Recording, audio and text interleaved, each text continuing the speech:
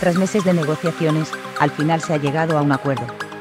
El español y el City ya han cerrado todos los detalles de la operación y solo falta la firma de los contratos para que Oscar Tarensi, internacional por España, se incorpore a los equipos inferiores del City.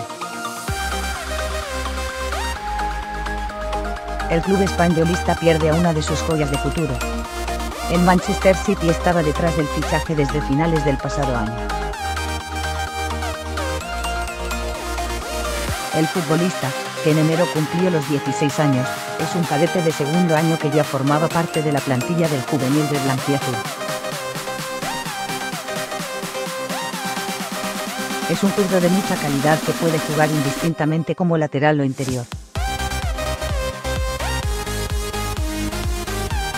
Negociación rentable Onda Cero ha adelantado hoy que la operación estaba cerrada. Y Sport ha podido confirmar que, efectivamente, los dos clubes han alcanzado un acuerdo. Solo queda la firma de los contratos, algo que debe realizarse en los próximos días. Se trata de un traspaso. El español ha negociado finalmente con el City y ha sacado mejores condiciones económicas.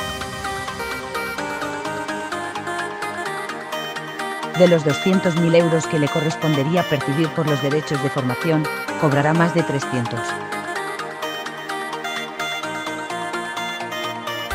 000 euros. El futbolista ya tenía negociado su contrato con el City desde hacía tiempo.